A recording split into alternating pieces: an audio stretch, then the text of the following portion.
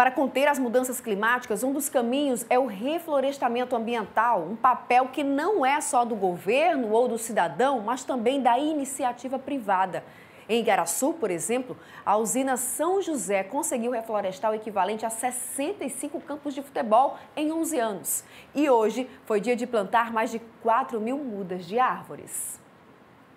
Esta área cercada de verde foi cenário da 11ª edição do Refloraste, ação de reflorestamento das matas ciliares, promovida pela usina São José, que fica em Igaraçu.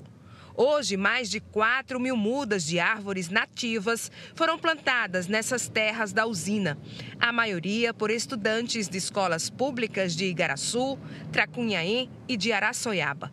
Os pequenos deram lição de consciência ambiental.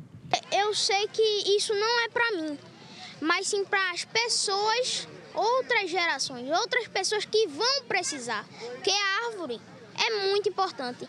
Ela dá sombra, ela dá fruto. E além disso ela dá oxigênio. Isso é muito importante para o ser humano viver. De 2012 para cá, mais de 47 hectares foram reflorestados, o que corresponde ao tamanho de 65 campos de futebol. Essas árvores que você vê lá atrás são as mudas que foram plantadas na primeira edição. É a prova de que esse trabalho de proteção ambiental dá resultado. A gente espera justamente isso, a recuperação da nossa mata ciliar, que é tão importante né, para nossas águas, nossos rios, que toda a comunidade depende, a gente depende. Então, é, proteção da mata, proteção da fauna, proteção dos rios, proteção do nascente, tudo isso é importante para o meio ambiente.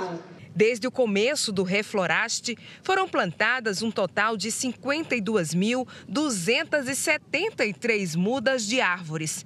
O diretor-presidente da usina São José falou o quanto vale a pena se comprometer com o reflorestamento. A gente tem um compromisso com o meio ambiente bem amplo nas nossas práticas, né? isso está nas nossas diretrizes e a gente emprega eh, nos nossos processos. Isso aqui é um complemento, né? que a gente sensibiliza a sociedade, sensibiliza a, os estudantes no cumprimento de uma agenda ambiental, né? de melhorar sempre o meio ambiente, quer seja através das práticas diárias que podemos reduzir o quanto é, no reflorestamento, quanto no cuidado das nascentes. E isso é imprescindível, né? O evento também reuniu políticos da região. A gente vem fazendo essa prática dizendo que é importante a conscientização, desde jogar o papel no chão, a preservar a planta, a cuidar dos nossos rios, das nossas matas ciliares. É assim que a gente trabalha, no piso da escola, fazendo valer de verdade a sustentabilidade. Esse é um programa que também integra as escolas dos municípios de Araçoiaba, de Itapissuma, de Igaraçu, fazendo um processo de conscientização das crianças para que elas possam tomar conta do nosso planeta, da nossa casa. Eu que sou do campo, Passei 30 anos administrando engenho, na área de reflorestamento, tudo isso. Eu sei o quanto é importante uma árvore ser plantada. E o evento ainda foi prestigiado por representantes da TV Tribuna, a exemplo da diretora comercial Romilda Monteiro. O governo do estado foi representado pela vice-governadora. Priscila Krause destacou a importância de investir em políticas de proteção ambiental.